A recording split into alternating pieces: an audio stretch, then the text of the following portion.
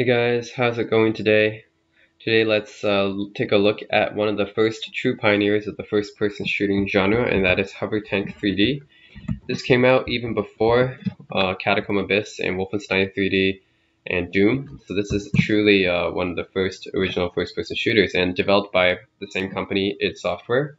Uh, John Carmack of course, in Softdisk Publishing which also made Catacomb 3D.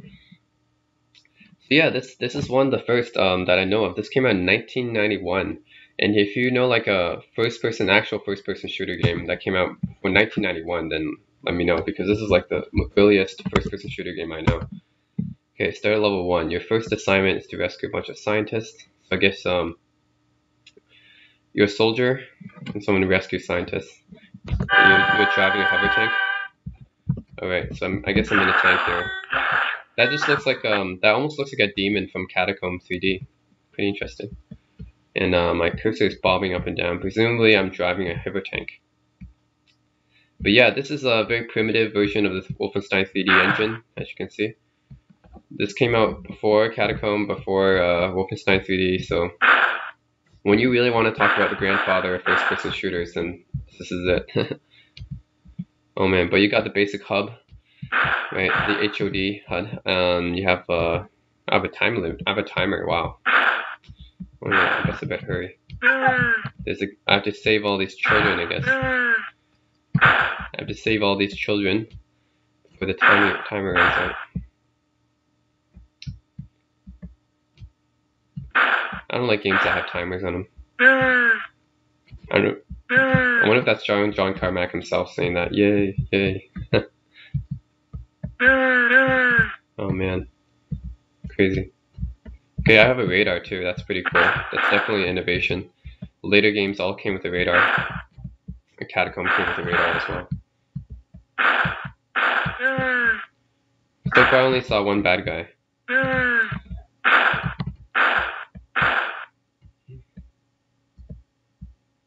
There's only two levels. So I presumably this was like a demonstration of their engine. They didn't, uh... This game wasn't really a full game. It's only two levels, so... Where are you? Where are you? There we go. I gotta get to the exit on time.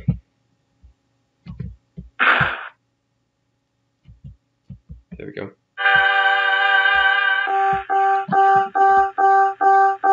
Oh, that's, that's pretty good graphics. Some bearded guy there giving me cash. Okay. I'm ready. Ooh. That's pretty interesting. I definitely see the uh, influence of this on Catacomb because the same kind of explosions, same similar monsters and stuff, except not as many. There's another one. This is like the same fireball that I fire in Catacomb.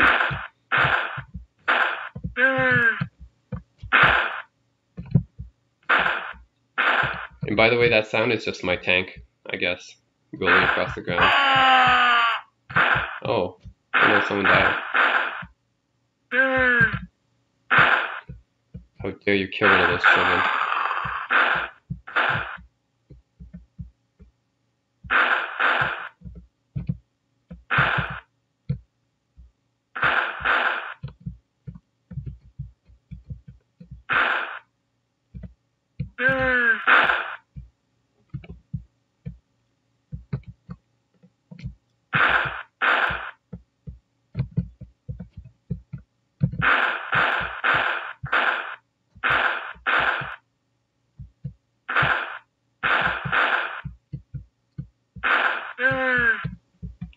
Guess only one left since one of them died.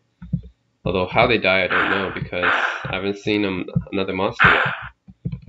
I don't know how that guy died.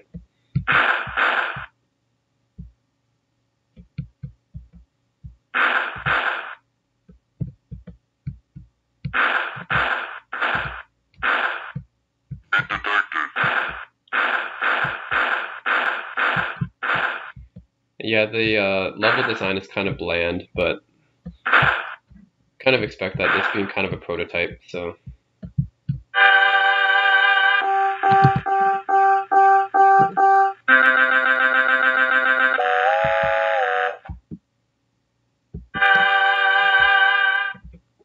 Okay, anyways. Yeah, this is Hovertank 3D, and um, truly the first pioneer of the first-person shooter genre because this game inspired mm. Catacomb Abyss, which inspired Wolfenstein 3D, mm. which in turn led to Doom, uh, ah. which in turn led to Quake. So basically, and, and then Quake led to a whole bunch of other mm. stuff too, like Doom 3, and then Doom 3 led to another thing. So, oh wow, other guy's dying. So yeah, all the lineage, the uh, impressive lineage of first-person shooters, everything from Halo to Call of Duty to um, GoldenEye 007, one kind of, I guess. As far as PC gaming goes, I guess um, you have like Doom and Quake and um, very influential first-person shooters. They all go back to this game, Hovertank 3D. So yeah I pay my respects towards this game. And uh, least in early spring 1991, long time ago. But one year before Wolfenstein 3D, I'm, I'm impressed that one year later, the same year they released Catacomb 3D, one year later released Wolfenstein, one year later released Doom, two years later released Quake. So in that span of just five years, they released all these influential titles. So props to ID Software and props to id Software and John Carmack for that. Yeah, that's it. Hope you guys enjoyed this video.